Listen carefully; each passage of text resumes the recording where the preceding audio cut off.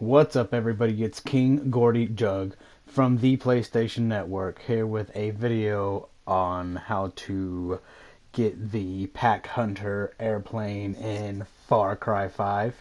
And I seen another video where a guy just, you know, got a helicopter and was like, "Oh, hey, you know, I'm just gonna fly up and land on this roof." And and it seems a bit extra if you're already here. You don't want to go somewhere to find a helicopter to just get on a roof when a roof is is right there and you you got plenty of stuff around you. So I'm gonna show you the quick way of doing it, so you don't gotta go across you know half the map to find a helicopter just to fly on top of a building, because you know the game is much more user friendly than that. So as we get to the top, this here this here tower is to the south of where you want to go. The plane is in that little building right there and I'm going to show you where it is. It's just north of the Fang Center.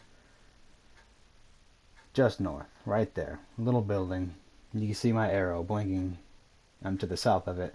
So what you want to do is, uh, before you take off, you're going to jump over there. But you got to have a parachute. You want to go back a little bit, make sure you got a good run, and jump, pull your parachute. And you should make it. Now here it looks like I'm not going to make it but I just kept tapping X because X is what you use to climb, and it worked. So I just jumped from that tower and landed on this building, and now I can get into it easily without having to go a great distance to find a helicopter to get into this building. So hope you guys enjoyed it.